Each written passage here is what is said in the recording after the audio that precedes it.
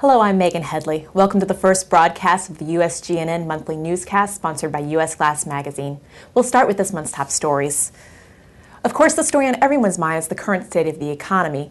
Commercial construction has begun feeling the impact, and that's translating into job losses across the board. According to a report released last week by the U.S. Department of Labor's Bureau of Labor Statistics, the construction industry accounted for 15% of mass layoffs during November and employment continued to decline in this sector by more than 100,000 in December. To give us an idea of what's expected further along in 2009, I spoke recently with Bob Murray, Vice President of Economic Affairs with McGraw Hill Construction. Bob has said that in 2008, commercial building was still showing increases, but in 2009, that will not be the case. Several non residential building sectors are expected to be especially hard hit. Uh, certainly, the category that's been the most severely hit to this point would be the retail sector, uh, stores and shopping centers. Um, the office sector, which seemed to be avoiding the overbuilding of the past, is uh, become increasingly vulnerable just given the, the state of the economy and the loss of jobs. Uh, hotels, which have been holding up quite well, is due for a very substantial uh, decline in 2009, which will continue into 2010. We're all becoming fairly accustomed to these gloom and doom forecasts, but Bob also had recommendations for the best places to look for bright spots of continuing non residential construction in 2009. I think, in terms though, of really kind of keying on areas of uh, opportunity in 2009, uh, some help might be given by the priorities that have been coming forth in the stimulus package. Uh, there's talk about upgrading or making federal buildings more energy efficient. And certainly there's talk about uh, trying to make uh, the, the housing stock in the United States more energy efficient, which would involve, of course, uh, you know, heightened demand for, for glass replacement. Now, obviously, the glass industry is already feeling the brunt of slowing commercial construction, as we reported numerous plant closings over the past month. PPG has been in the news for several months regarding its closings. The latest of these was the shutdown of the production line in Mount Zion, Illinois on December 31st, moving up a closure that had originally been planned for the spring of 2009. The closure eliminated a total of 75 jobs at the plant. On January 5th, AGC Flat Glass laid off another 34 people at its Greenland plant in Tennessee. Although these layoffs were remnants of the downsizing measures the company instituted as part of its restructuring this past April. On January 7th, Oldcastle Glass closed its plant in Louisville, Kentucky. A letter to customers noted the existing and confirmed orders will be shipped from the company's Indianapolis and Perrysburg, Ohio facilities. Alcoa, the parent company of Kawneer, is looking at reductions that include cutting back the number of employees by 13,500, or 13% of the company's worldwide workforce, by the end of this year. Viracon issued a statement on January 12th confirming that it had laid off approximately 200 phys- positions at its facility in Owatonna, Minnesota, or 15% of its Owatonna workforce. The company did, however, note that while it had idled three production facilities for brief periods of time, all lines are currently running full time Monday through Friday.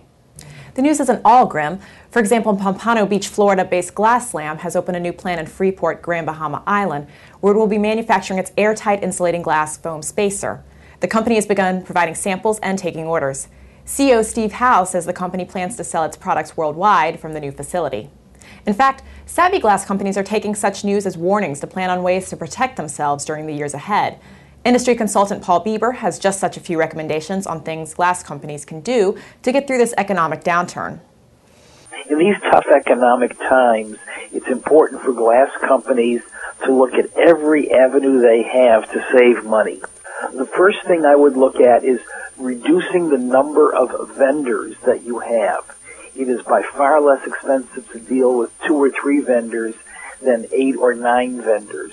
You save money in your receiving, you save money in your accounts payable, and by concentrating your purchasing dollars, you will get better pricing from the vendors you work with.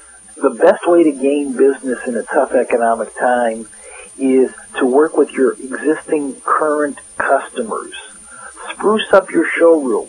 When a customer is waiting for a piece of glass for a picture frame or maybe a windshield installation, if they see a sharp, clean, neat showroom with signs that say, buy windows here, or we can reduce your energy costs, you have a customer in hand. Let them buy from you rather than trying to spend money to dig up new customers. In times like this with a lot of layoffs, uh, the good news is that there are a lot of good employees who have been let go from their jobs through no fault of their own. They, being good employees, are looking for work. Take this as an opportunity to review your workforce and trade up. Get better employees who want to work rather than the person you've been saying, well, they'll get better, they'll get better, and are just hanging on. Clean out your trucks at your job. If you have 500 pounds of extra scrap glass in the garbage cans on the back of your trucks, you're wasting one to two miles per gallon in the cost of your fuel. Work safely. If your shop is clean and neat, you will be safe, which will reduce your workers' comp potential liabilities. And if your shop is neat and clean, your workers will work more efficiently. They will spend less time looking for product in your shop and they will get more done. Don't believe in the big order that's going to walk in the door just because you get an email. Customer fraud is increasing, especially in tough economic times, because we all want that big order, and it's tempting when something comes in. If it looks like it's too good to be true, the odds are it is. Never ever pay money up front to somebody you don't know, saying that they will get you an order. For more ideas, many suppliers and glazing contractors are making plans to attend the annual conference of the Building Envelope Contractors Division of the Glass Association of North America. For more on this upcoming event, we turn to Holly Biller. Thanks, Megan. Glazing contractors looking for ideas on how to differentiate themselves will consider the GANA BEC conference a worthwhile investment. The BEC conference is coming up February 15th through the 17th and will be hosted at the Palms Hotel in Las Vegas. Last year, more than 700 attendees participated in the event. Because the conference is hosted in conjunction with Glass Week, where GANA members meet in order to discuss new initiatives, glazing contractors have an opportunity to meet with their suppliers as well as their peers. In fact, the BEC conference is renowned for its networking opportunities as well as its educational programs. This year, attendees already are anticipating a presentation from Russell Huffer, CEO of Apogee Enterprises, on how green building and energy will affect the contract glazier. We take this very seriously uh, in our company, uh, uh, the green movement. Mm-hmm. And, and I like to call it green squared. Quite frankly, I think it's, it's, it's green in its movement, it's green in the money that it can make for us. And, I, and I've challenged our people as we look at uh, uh, these uh, products that we're developing and how we run our businesses, that we need to look at them from a point of view of eco- the economic impact they have. Don't do something just because it's green. Do it because it's green squared. Also, Russ Ebeid, CEO of Guardian Glass, will be on hand to discuss the state of the glass and glazing industry. For an extra treat, sports legend Dick Vermeil will present the seven common sense principles of leadership. I know I'm looking forward to that. How about you, Megan? Thanks, Holly. I know I look forward to seeing a number of our viewers out there in Las Vegas. And on next month's broadcast, we're sure to have plenty of updates from both BEC and Glass Week. Thanks for watching.